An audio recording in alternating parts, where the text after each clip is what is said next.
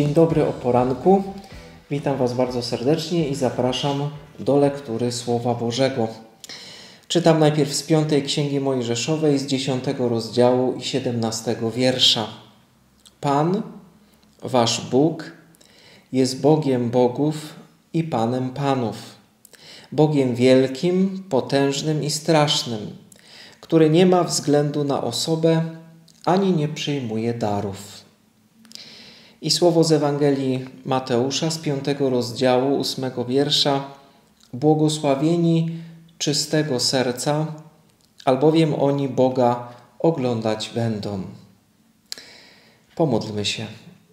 Panie nasz Boże, dziękujemy Ci za to, że nas dzisiaj obudziłeś.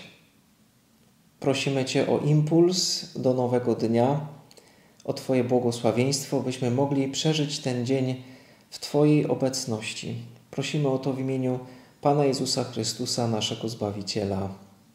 Amen. Moi drodzy, kiedy przeczytałem te teksty, miałem od razu skojarzenie z lustrem.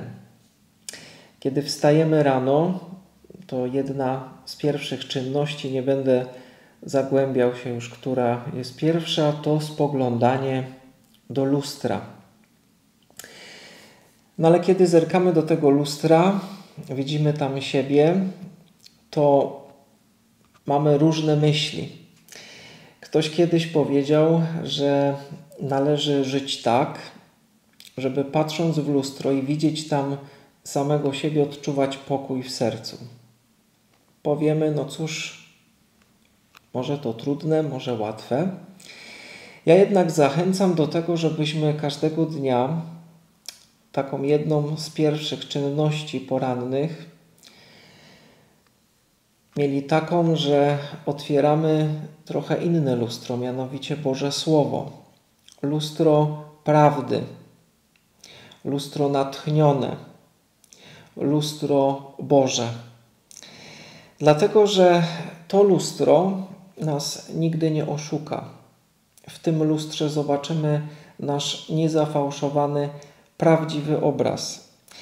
Bywa w naszym życiu często tak, że te lustra, które, te życiowe lustra, w których się przeglądamy, często nawet y, na naszą prośbę czy na nasz własny użytek, żeby się nam zrobiło lepiej, y, przestawiamy. Przestawiamy w taki sposób, kombinujemy, żeby wyglądać w nich jak najlepiej.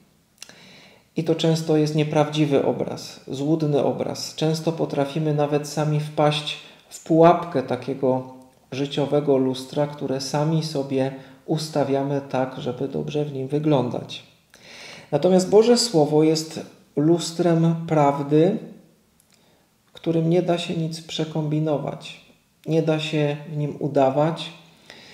I myślę, że jest to jedna z lepszych rzeczy, jaką możemy zrobić na starcie każdego dnia. Szukać nie dość, że Bożego obrazu, to sprawdzać w tym Bożym lustrze, lustrze prawdy, jak wyglądamy. I modlę się dzisiaj o to dla siebie i dla Was, byśmy mieli odwagę, siłę i chęć, żeby nie tylko spoglądać do tego lustra prawdy, do tego Bożego Słowa, ale też jeśli zobaczymy coś w tym lustrze, że jest nie tak, mieli odwagę to poprawić, skorygować, dali się po prostu Bogu prowadzić. Życzę Wam błogosławionego, dobrego dnia. Y, miejcie ten dzień niesamowity i mam nadzieję, że Bóg dla każdego z nas coś w nim przygotuje. Zostańcie z Bogiem.